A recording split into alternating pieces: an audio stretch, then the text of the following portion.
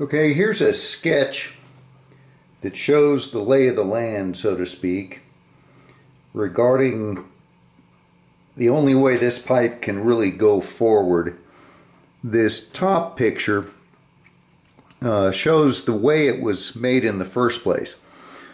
Uh, Stummel was uh, just normal in every way. It was turned, the shank was turned down to a very thin tube the size of a drinking straw.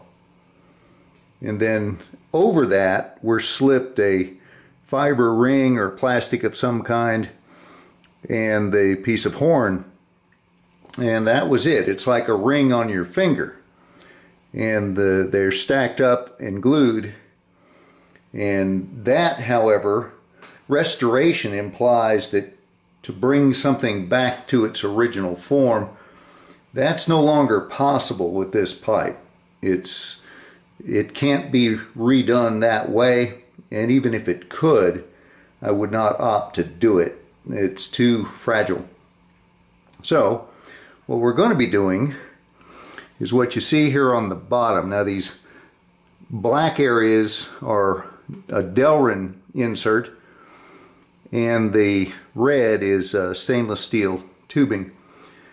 And you'll notice that the stainless steel bridges over the new joint that we're going to have. I won't, uh, will not include this decorative ring because I want the, uh, the, the join to be as strong as possible in maximum surface area and a substance, a material that will accept the, the glue better. Some do better than others.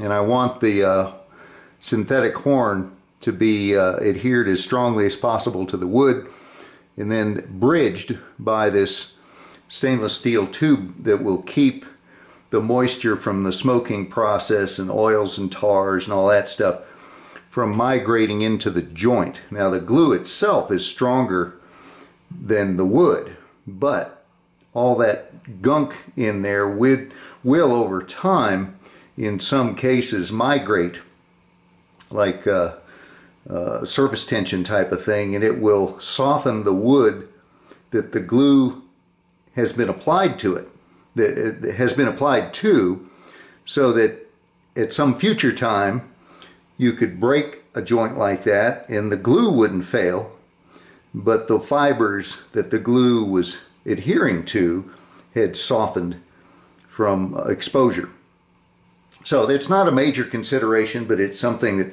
as long as we're doing this, we might as well do it right. So that's the overview.